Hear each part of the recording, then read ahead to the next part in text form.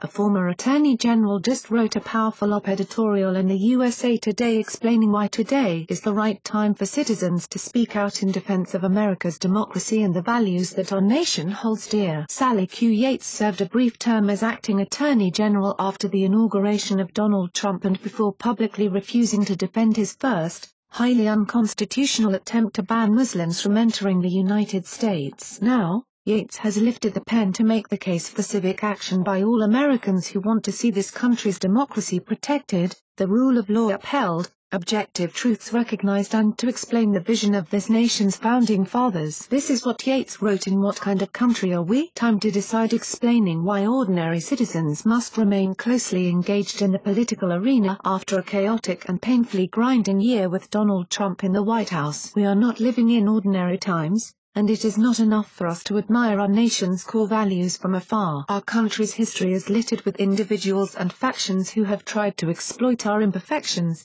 but it is more powerfully marked by those whose vigilance toward a more perfect union has prevailed. So stand up, speak out. Our country needs all of us to raise our collective voices in support of our democratic ideals and institutions. That is what we stand for. That is who we are. And with a shared commitment to our founding principles, that is who we will remain. Sally Q. Yates served in the Department of Justice for 28 years and was elevated into the role of Deputy Attorney General by President Obama in 2015 and confirmed with an 84-12 vote of the Senate. She used her column in USA Today to highlight the utter necessity of apolitical law enforcement succinctly, but with an ominous conclusion in contrast to recent news that the DOJ has very intentionally leaked secret investigatory evidence for partisan reasons to Fox News, explaining that the rule of law depends not only on things that are written down, but also on important traditions and norms, such as apolitical law enforcement. That's why Democratic and Republican administrations alike,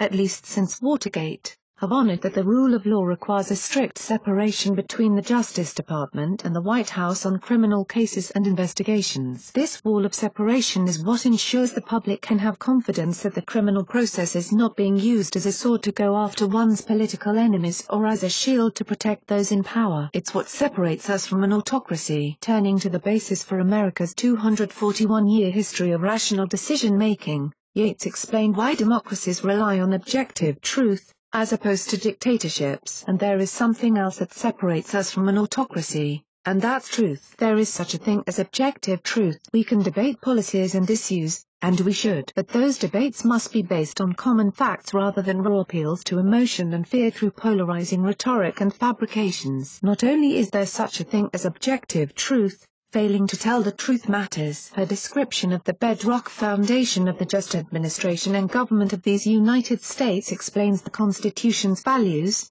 the American values which have bound this country's states into a more perfect union for the last 228 years since it was ratified. Yates wrote, What are the values that unite us? You don't have to look much further than the preamble to our Constitution, just 52 words, to find them. We the people of the United States, we are a democratic republic, not a dictatorship. In order to form a more perfect union, we are a work in progress dedicated to a noble pursuit, establish justice. We revere justice as the cornerstone of our democracy, ensure domestic tranquility, we prize unity and peace, not divisiveness and discord, provide for the common defense. We should never give any foreign adversary reason to question our solidarity, promote the general welfare, we care about one another compassion and decency matter, and secure the blessings of liberty to ourselves and our posterity, we have a responsibility to protect not just our own generation, but future ones as well. Sally Yates is a patriot,